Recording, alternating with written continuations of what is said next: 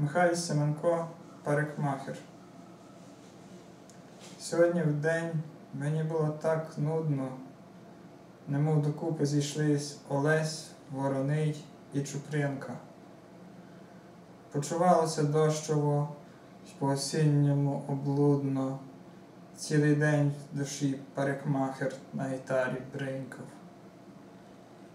Іноді думав про неї і робив ескізи листа, який не гадався надісланим бути. Згадав кілька французьких фраз забутих. Разів зо два поглянув на образ Христа.